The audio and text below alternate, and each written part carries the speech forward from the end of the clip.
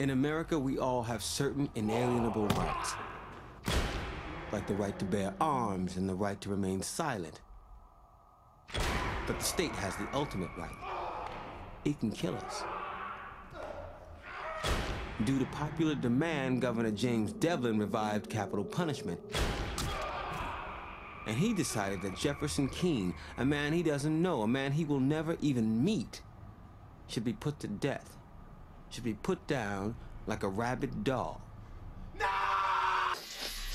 You swat a fly, step on an ant, squash a cockroach, you don't think much of it. In fact, killing a bug gives you a sense of accomplishment. Fucking ant was ruining your picnic. Cockroach was crawling through your kitchen cabinet. You put an end to their disgusting, miserable little lives and make a better world for everyone. Only for everyone you kill, more appear. Bigger. Uglier. Meaner than before.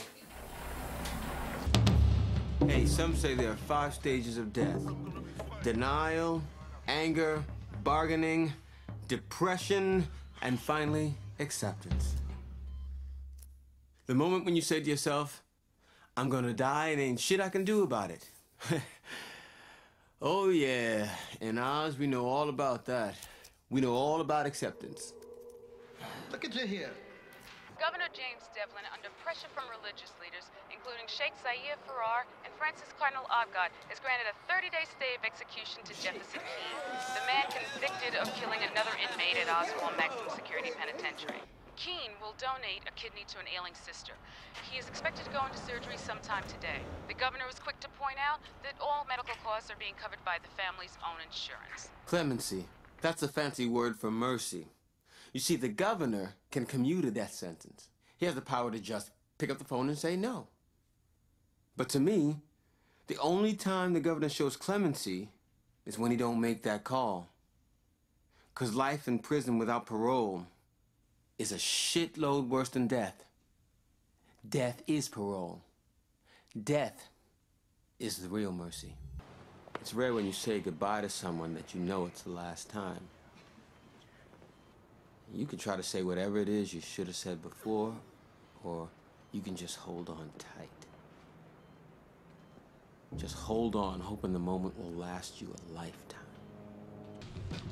Over 3,000 men and women are sitting on death row right now. Congress has denied state inmates access to federal courts. Congress has also eliminated financing to law offices for death row appeals. The states themselves are shortening the appeals process. In this country, there's now one execution every single week. There were more executions this year than any time since the 50s. And we all know how righteous the 50s were.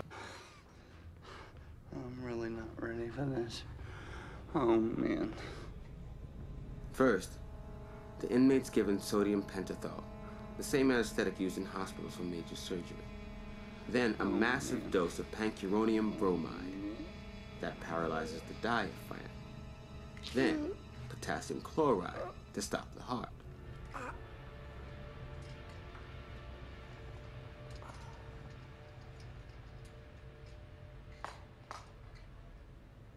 Don't try this at home, kids. There's this brother on death row somewheres. He checked in when he was 16. He sat there another 16 years while the courts and lawyers argued about this and that. While he waited, he painted a mural on his wall. For all those years, he painted, not letting a soul see what he was up to. Finally, when he was 32 and had spent more life on death row than in his mama's house, all his appeals were exhausted. He was about to die. As he was about to be let out for the final time, he finally unveiled his masterpiece. All there was was six words. Death is certain, life is not. The next day, the hacks painted over it. Peace out.